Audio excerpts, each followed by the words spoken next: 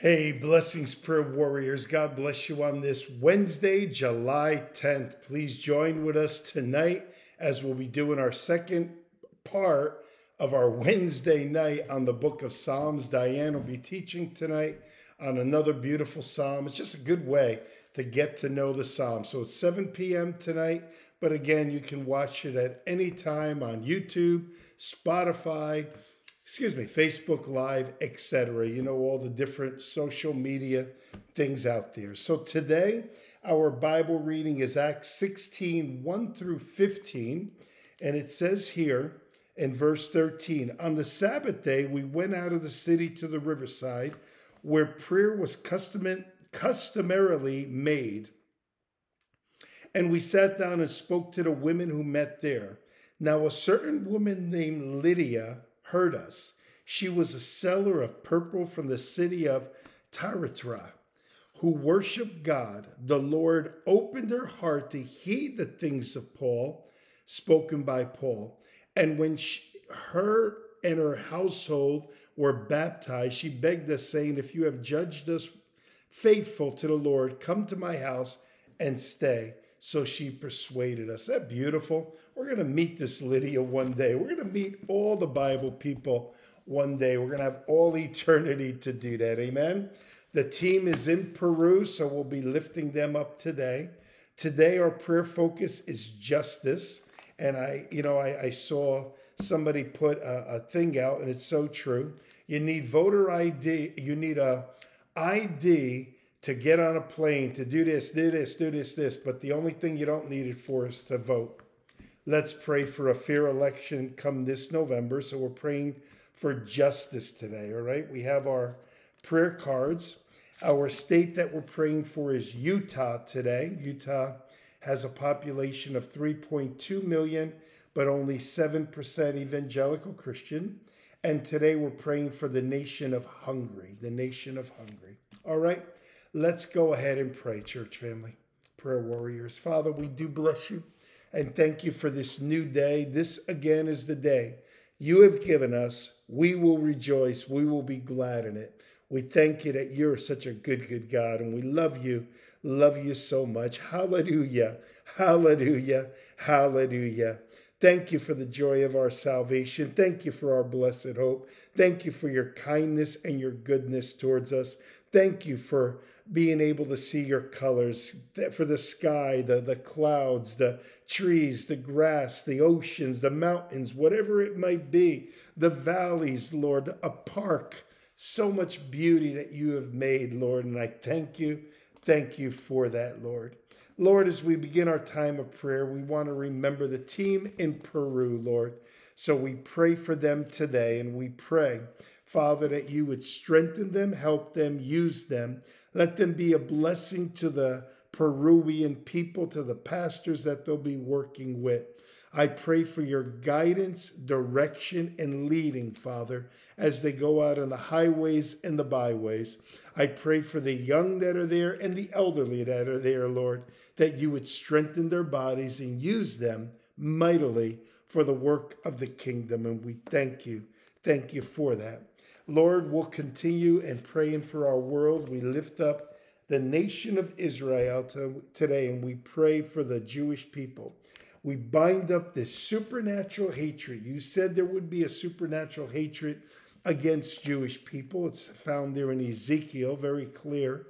But uh, to me, I pray for them, Lord, because they gave us the Messiah, they gave us the Bible, they gave us the Apostle Paul and Jesus, and on and on.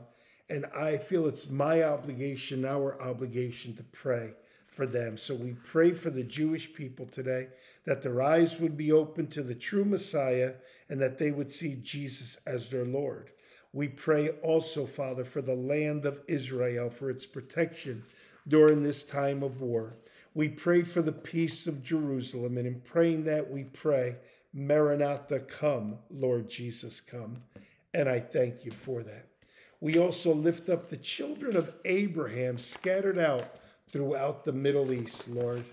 We pray for them. I even think of Iran, not a ch- children of Israel, of Abraham, but we see them with Cyrus. We see them how you use them before to bless the Jewish people, and here they are now cursing the Jewish people. So we pray for the Middle East. We pray for all that's going on there. We lift up our world before you. We pray for Peru. We pray for Hungary today. Hungary, 9.7 million with only 3.1% evangelical Christians. We pray for the people there, for the scales to come off their eyes, Lord. Lord, you said, wide are the gates to destruction, wide are the gates to hell.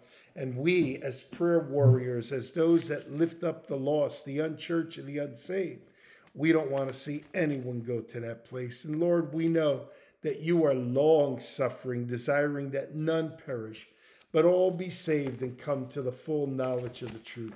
So we lift up the people of all these nations and we pray for them today. We pray for the 8 billion people on planet Earth. And we pray, as it was in the days of Noah, there was a huge population. We see a huge population now. So will it be when the Son of Man returns. Lord, I pray for our young people with this uh, generation of knowledge that they would see that the book of Daniel says that knowledge will abound. People will go here and there before the return of the Lord and let that trigger something that we are living in the last of the last days. Help them to see that, I pray. We lift up our United States of America. We pray for Utah. We lift up the governor of Utah, mayors of cities. We pray for the Mormon religion that the people there would see Jesus Christ not as the brother of Lucifer or Gabriel, but as the Messiah, the Son of God. I pray that their eyes would be open to that, Lord, in Jesus' name. We pray, Father, for the people of that state.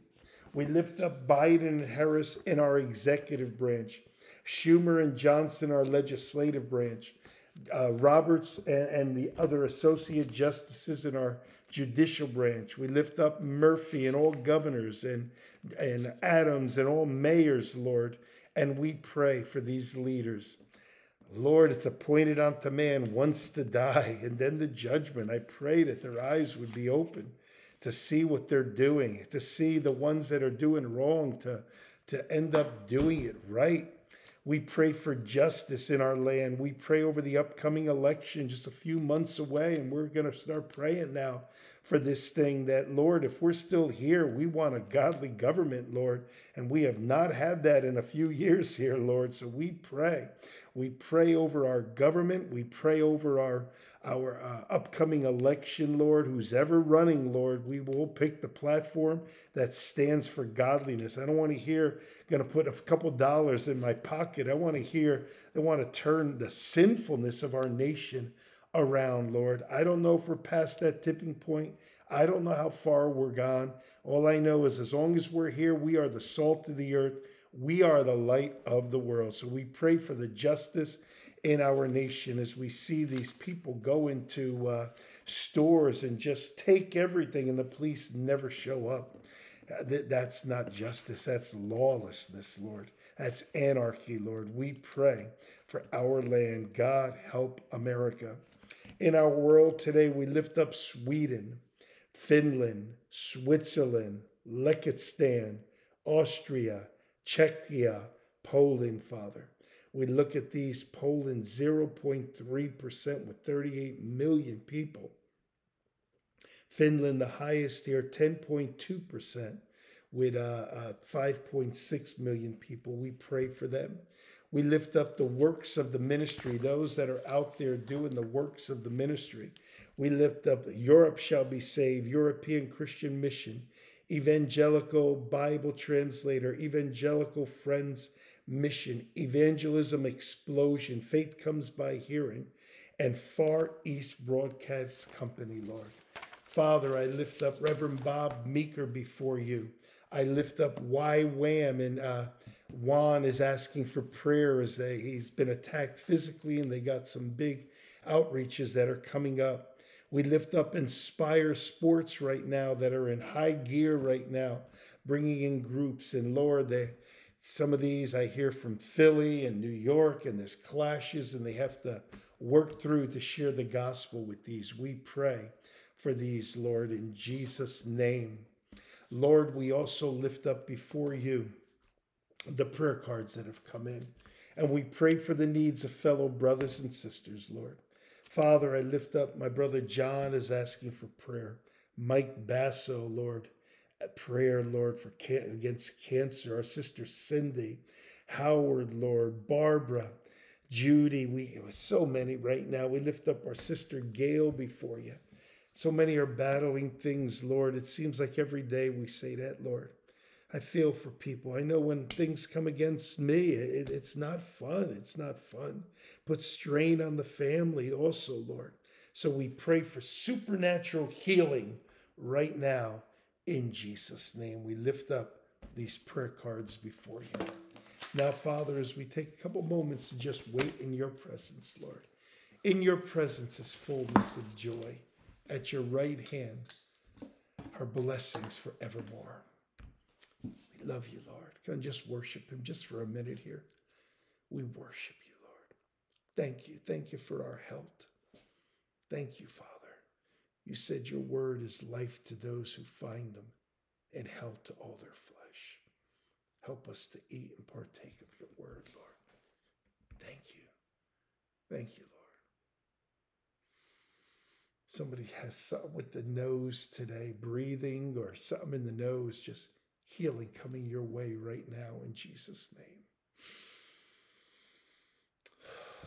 Thank you, Lord. Thank you. Thank you. Thank you. And thank you for eyesight. In fact, I'm going to pray over our five senses today. Amen. As long as we're on this earth, we still need them we pray over our five senses of touch, smell, taste, hearing, seeing, Lord. Thank you for strengthening every one of those, Lord, in Jesus' name. We love you, sir. We honor the name that's above every name, the name of Jesus. Thank you for this time together with hundreds today, Lord, praying together, sharing together. And I thank you. I lift up my sister Judy that's going in for a hip operation, Father. I just thank you everything going perfect there, Lord. We bring her up in prayer in Jesus' name. Jesus, give Jim the strength that he needs during this time, Lord. Amen. Again, we love you, sir. We honor you in Jesus' name. Amen and amen. Hey, God is good. Amen. Thank you for joining with me. Share this if you can. Put a thumbs up, it goes a long way. God bless.